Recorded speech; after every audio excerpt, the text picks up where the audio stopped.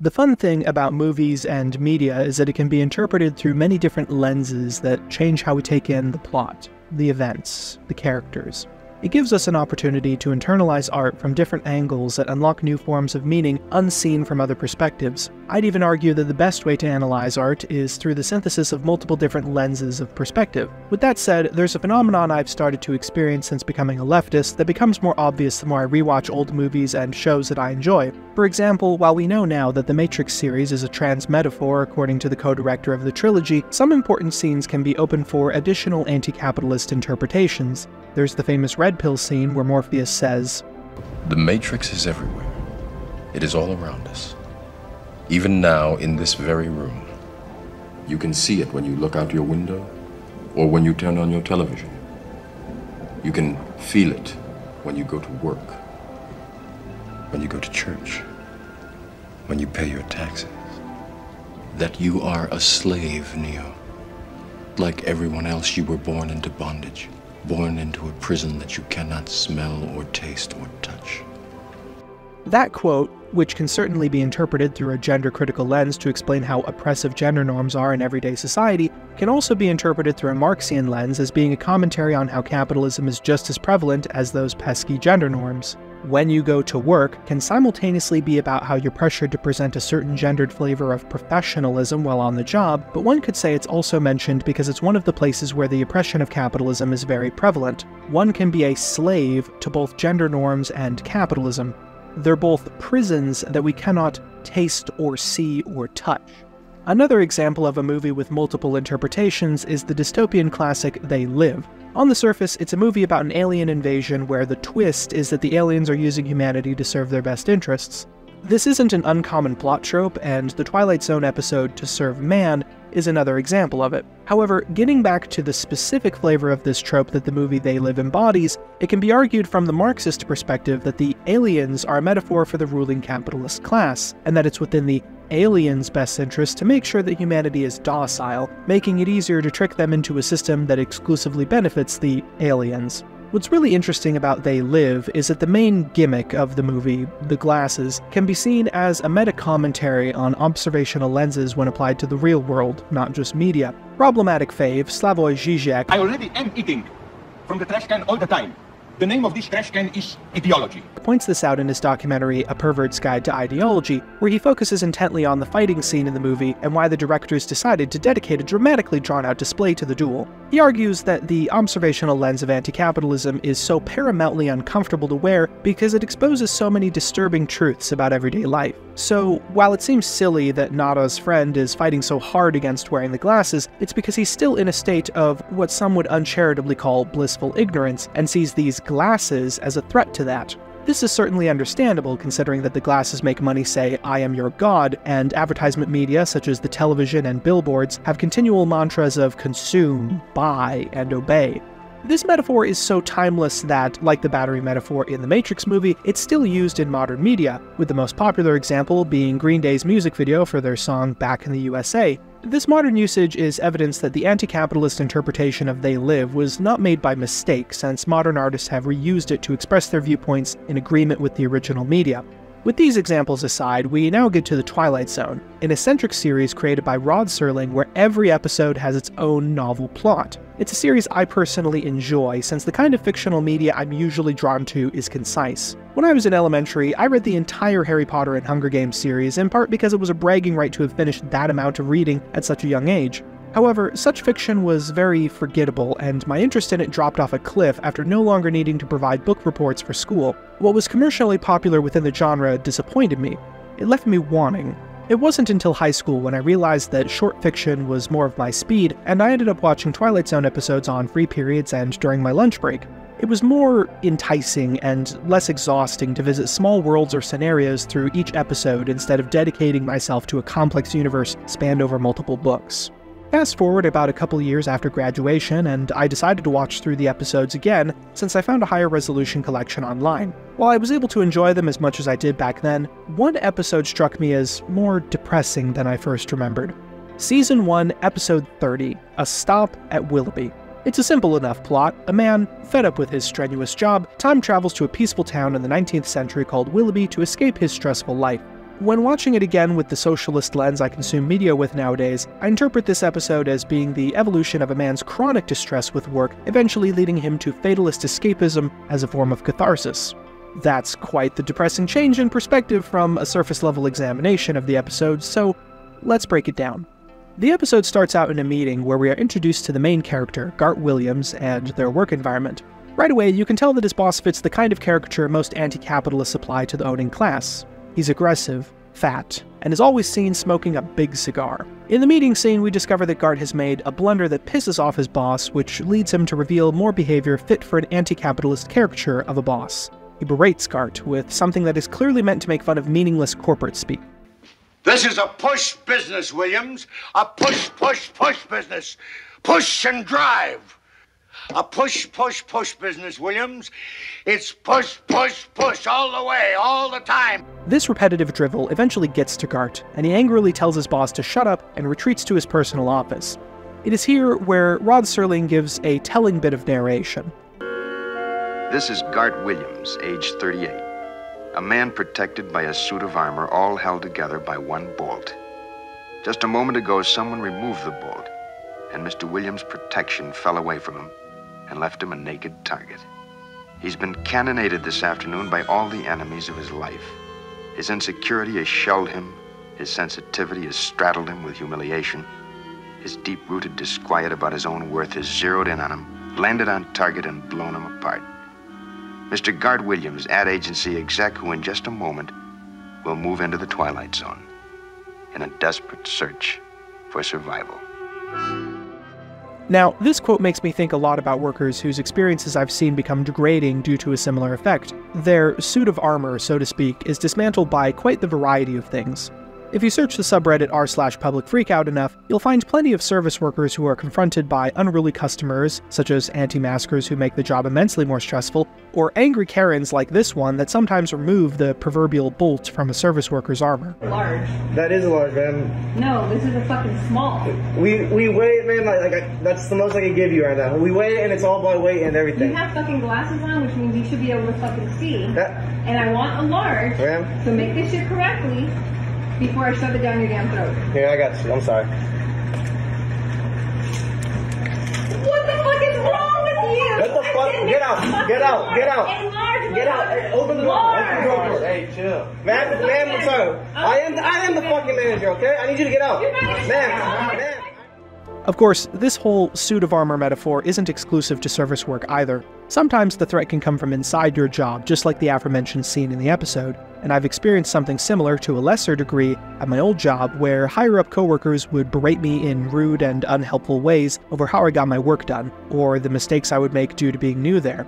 Regardless of the way in which a worker's armor is broken down, Rod Serling's narration describes so well how work becomes stressful, how the worker is not respected in their profession, and breaks down due to stress. The episode continues on to a scene where Gart is riding the train home. When approached by someone working on the train who asks how he is, he exhaustively says, In the absolute pink. The two talk about winter for a bit, which leads Gart to say, Well, that's the way of the world. The rich get richer, and the days get shorter. While he doesn't say much during this tidbit, it's interesting because it portrays the ways in which one masquerades their suffering. In the pink is a phrase that means to be in good health and spirits, but the way in which Gart says it indicates that he's giving a comfortable response to a common question. It's like someone asking, How's it going? and replying, I'm good, or It's going. The actual question, especially in America, has lost its original meaning, which is to find out how someone is. And it's part of the daily drone of life, just like handshakes and minding your P's and Q's. People don't actually answer such a question honestly, because that creates an uncomfortable situation. As for Gart's later comment, it's a variation of the saying, the rich get richer and the poor get poorer, a common anti capitalist phrase. One could also note that his variation where he says, and the days get shorter, is not just a comment on daylight time during winter, but also the way in which days feel when existing under the alienation of capitalism, that your free time is little, and that the agony of work feels constant, making days feel short and unfulfilling.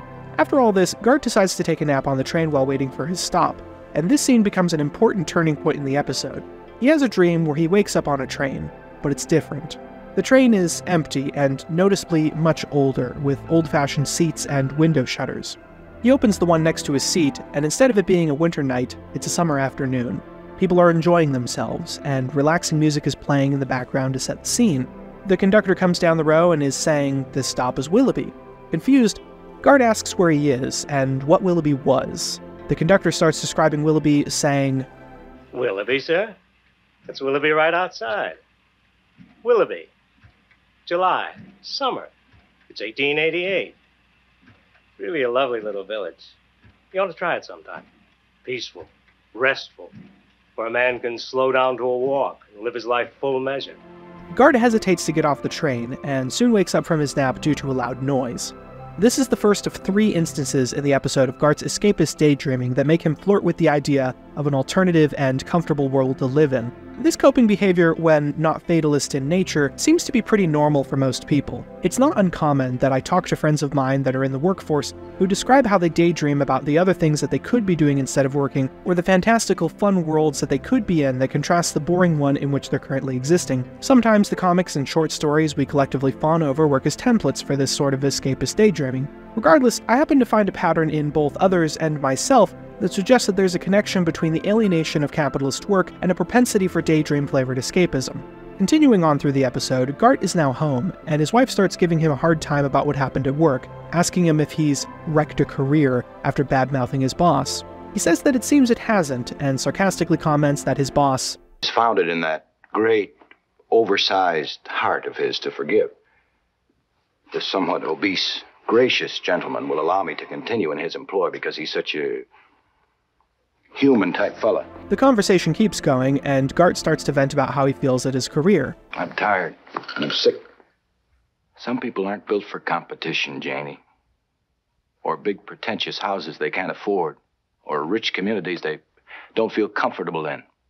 And you would prefer? I would prefer, though never asked before, a job, any job, any job at all where I could be myself. Where I wouldn't have to climb on a stage and go through a masquerade every morning at nine o'clock and mouth all the dialogue and play the executive and make believe I'm the bright young man who's on his way up because I'm not that person, Janie. You've tried to make me that person, but that isn't me. That isn't me at all. When his wife asks where he wants to be, Gart starts recounting Willoughby and how he wishes he were at a slower paced place like that. In this scene, Gart's wife is a characterization of hustle culture. It's the fire under your ass in a capitalist society that sells you on the idea that a successful person has to be chasing things expensive, unfulfilling, and materialistic things. And to get there, you have to be productive, competitive, a go getter, if you want the optimal life. The so called American dream that presents itself as the sole and exclusive yellow brick road that everyone must follow to achieve happiness in this world. Gart's dialogue contests this dogma. It speaks for the people alienated by this culture of empty materialism and degrading rat races. It shows that he has an acceptance of his humanity. He accepts that not every person needs expensive niceties or work grind to be happy in life, which, mind you, is not an easy thing to admit in a system that would call such a person lazy or defective to disincentivize them from preferring a different vision of the optimal life that doesn't line the pockets of the rich. The episode soon cuts to Gart on the train again, going back to work. Once again, he dozes off while waiting for his stop, and returns to the setting of his previous dream. He's back on the old train, the train worker remarking again that this stop was Willoughby. This time, Gart picks up his jacket and suitcase and leaves the train car to marvel at the scene for a while. During this hesitation to leave the train, it starts up again, and as he's yelling for the conductor to stop the train, he wakes up from the dream. He tells himself after waking, Willoughby. Next time. Next time I'm going to get off. This scene shows Gart's premeditation for suicide, since getting off the train is a metaphor for his transition from harmless to fatalist escapism. This scene shows the process one who contemplates fatalist escapism goes through. There's much hesitation, which is shown by Gart waiting on the old train, but never getting off since he has to weigh how big of a decision that is to make, despite the train conductor narrowing his window of opportunity to think about it. This second dream, along with the argument he had with his wife, makes Gart more comfortable with the thought of suicide. Even though he's already been pushed further into considering fatalism, the episode isn't done roughing up Gart just yet. The events of the episode move along to a scene where Gart is in his office. He's in a business call with his boss, who's again hurling push, push, push, and other mindless business speak at him about things like ambition and pizzazz for his next advertising project. He hangs up the call since he's fed up with it, but not long after, starts getting calls on multiple phones about something wrong with an advertising spot he was working on for a client. He calls for his assistant to get info for the clients, and the assistant lets him know that his boss wants to see him, most likely angry that he hung up during a business call. The stress of all this leads Gart to his office's bathroom, where the words of his boss play back in his head. Like the last scene where he was at work, all the built up stress from his job leads him to break out again. This time, however, he punches the mirror in his bathroom. It's at this point that Gart makes a realization. He limps back to his office to make a desperate call to his wife. Fair warning, this scene is pretty disturbing, so if you want to skip it, here's a timestamp. Janie, there's a guard, honey. I'm coming home. Will you stay there? No, honey, listen, please. I've had it. Understand? I've had it. I, I just can't take this another day, not another hour. This is it right now. I, I, I've got to get out of here. Janie, will you help me, please? Will you please help me? Janie? While this scene doesn't feel eventful, it pertains to Gart's breaking point that makes it easier for him to choose fatalist escapism instead of simply considering it. Not only is he quitting his job, but he has no support group since his wife proved not to be dependable. Gart's abandonment of his wife's definition of success and the lifestyle that entailed led her to be apathetic to this traumatic point in his life since she interprets this behavior as failure and not the moment of deep realization that Gart's currently experiencing. By losing his most important connection to reality, not to mention his only source of support, his wife, Gart in this next scene starts to mentally decay. He's back on the train. The train worker, as usual, tries to talk with him, asking how he is, and Gart doesn't respond, just nods. He then takes a nap as usual and has his third and last dream of the episode. The dream starts off like his last two, where he's on the old fashioned train.